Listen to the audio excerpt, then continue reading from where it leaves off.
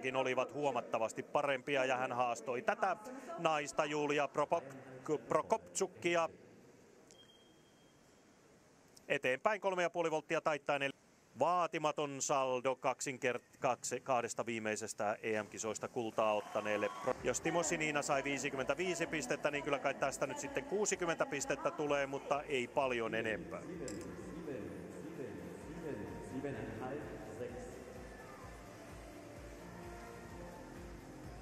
Kilpailusta, mutta ei varmasti ole kovin tyytyväinen. Ja nyt vasta yhdeksänneksi siellä on vain Sofia Reisinger hänen takanaan, kun kymmenen naista on hypännyt. 11 tulee tässä. Prokopchuk hyppää vaikeamman hypyn 3,2 kertoimisen sisäänpäin 3,5 volttia kerien. Kerien tehtynä sen kerroin nousee vielä parilla kymmenyksellä, siis 3,2. Vasti heikompi, mutta kuinka paljon pisteissä näkyy ero? 10 piste. Oi oi, näkyy enemmän. 60,2.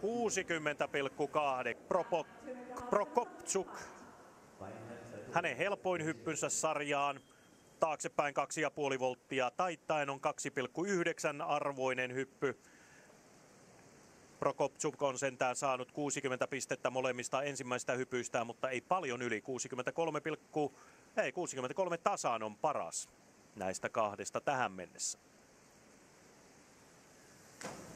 No nyt hirvittäviä pisteitä sieltä tuo, mutta nyt aletaan olla siinä tasossa, missä kaksi, kaksi edellistä mestaruutta EM-kisoista tällä telineellä tai täältä kor, tästä 69,6, mutta kaukana 200 pisteestä vieläkin. Näköisesti menee hänen edelleen. Nyt tulee käsiltä taaksepäin kolme volttia.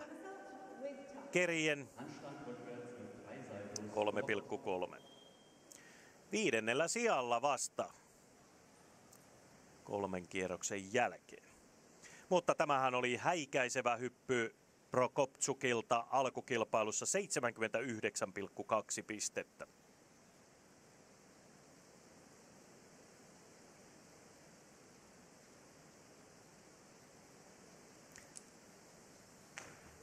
Ja se on hyvä nyt.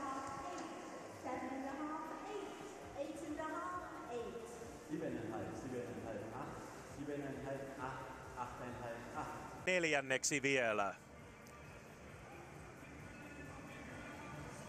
Mestari.